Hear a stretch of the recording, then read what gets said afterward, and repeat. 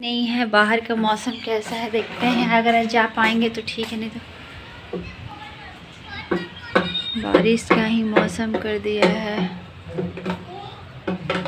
अरे यार, देखते हैं करण क्या करता है। तो पॉली कर दी है। पोटी, इसको साफ़ करेंगे। लगता है करण के यहाँ धोने पड़ेगा।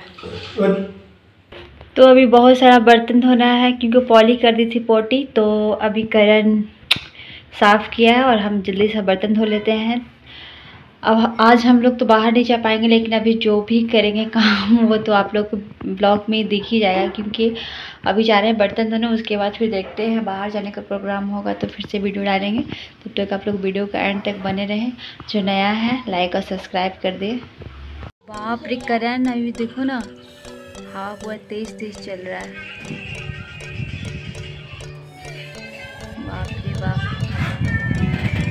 आज लगता है फिर नहीं कहीं निकल पाएँगे गाइस देखिए तेज तेज हवा चल रहा है।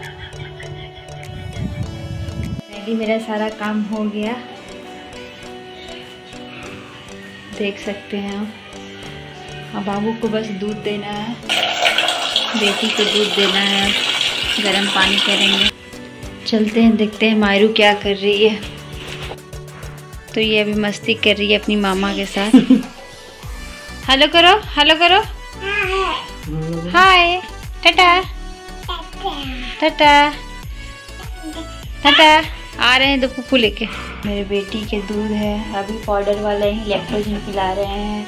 क्योंकि गाय वाला दूध पीती नहीं है उल्टी कर देती है। तो अभी इसके लिए अभी लैक्टोजन मंगवाए थे परसों। तो ये भी लगभग ख़त्म होने वाला है इसको भी लाना पड़ेगा। तो पॉली का दूध रेडी हो गया। अब चलते हैं इसको दूध देने क्योंकि इससे ज़्यादा नहीं पीती है। आप लोग के भी घर में छोटा अगर बच्चा हो तो इसको यूज़ कर सकते हैं। कांच का बोतल यूज़ कर सकते हैं क्योंकि बहुत ज़्यादा अच्छा रहता है और अच्छा क्वालिटी है इसका। कौन है ये? पापा। चलिए पीजिए। बहुत बदमाशी करने लगी नहीं है।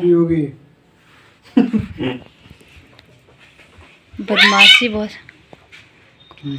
देखिए कितना बदमाशी करती है। क्या कर रही हो? चलो नहीं पीना है। हटाओ इसको। हटाओ। चलिए तो आप लोग वीडियो बस आज के लिए इतना ही है। फिर मिलते हैं अगले वीडियो में। तब तक के लिए बाय बाय। और जो नया है लाइक और सब्सक्राइब करें शेयर करें।